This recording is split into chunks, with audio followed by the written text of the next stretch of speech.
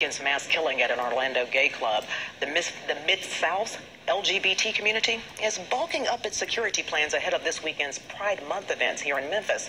And Local 24's Brad Broders is live at Audubon Park, and that's where a gathering is scheduled for Sunday afternoon.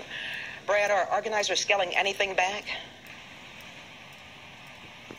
Well, good afternoon, Katina. Organizers said while there will be a boost in security, they also don't expect a drop off in attendance, enthusiasm, and participation during LGBT Pride Month nationally and locally. Now, there will be several Pride events this weekend here in Memphis, including Unity Assemblies Friday and Saturday night, and Sunday afternoon's family affair here at Audubon Park.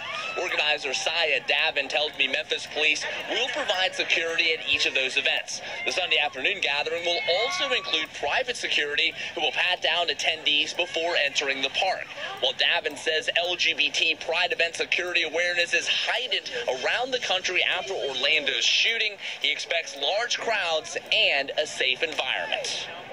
I'm doing everything that I can you know, whether meeting with you, other entities, um, on, the, on the phone with MPD, you know, three, four times a day. I'm just doing everything that I can to just make sure that they feel that if they do come out to support, that they will feel secure. And I think that's what's most important.